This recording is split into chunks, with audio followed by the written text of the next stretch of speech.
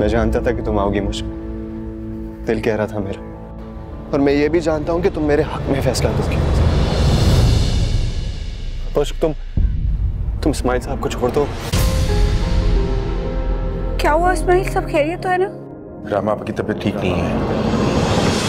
मुझे तुम दिल पे लिख लेते अगर मुझे छोड़ के मत जाओ प्लीज़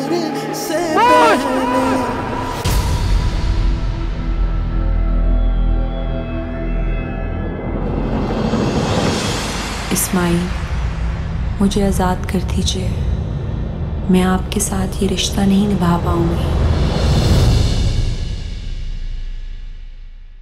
यही तो राज़े उल्फत राज़ी उल्फत आखिरी किस्त कल रात आठ बजे सिर्फ़ जियो पर।